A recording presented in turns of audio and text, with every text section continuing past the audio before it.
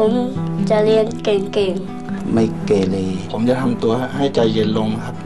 จะไม่ทะเลาะวิวาทกับคนอื่น ตัวดิฉันเองจะไม่เล่นการพนัน เลิกบุหรี่ให้ได้ๆจะเที่ยวให้น้อยลง ผมจะทำทำดีตั้งใจดูแลแม่ให้ให้มากขึ้นกว่านี้อะค่ะก็จะเป็นแม่ที่ดีของลูก ประหยัดตังค์มากขึ้น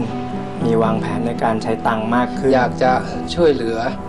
เพื่อนมนุษย์ด้วยกันที่ได้อยโอกาสกว่าเรา จะเลิกเหล้าให้ท่าน แค่เรื่องเล็กๆ จาก 63 ล้านหัวใจ จะทำให้ทุกวันมีเรื่องดีๆ เกิดขึ้น 63 ล้านเรื่อง ผมรักในหลวงครับ มาร่วมกันทำสิ่งดีๆ ถวายพระเจ้าอยู่หัวในโครงการทำดีให้พ่อดู